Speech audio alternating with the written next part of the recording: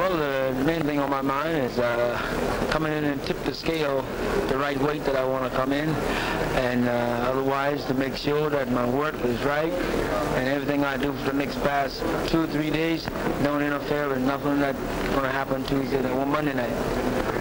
Is the ideal weight you're aiming at? Well, I want to come in about 2-4, 2-3, somewhere around there. I left it today about 2-6, so I'll dry out from 9 till Monday, uh, lighten up on my water, watch it. I'll come in on about 2-3.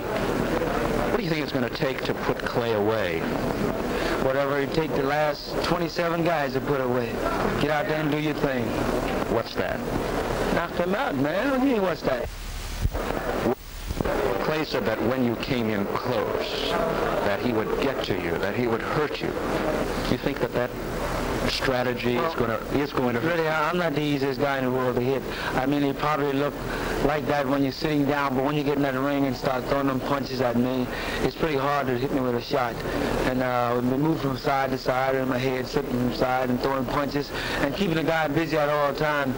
He ain't got time to think. When and if you win this match, what then?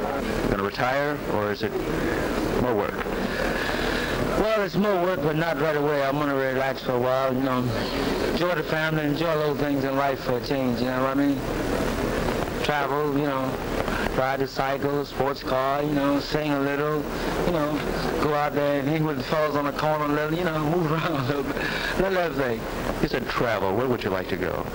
Oh, no place particular. What I would like to go is, I like to go back down home and uh, to get a home straight up for my mama, and, uh, which is my brother, and so that's gonna be my first stop, which is my hometown.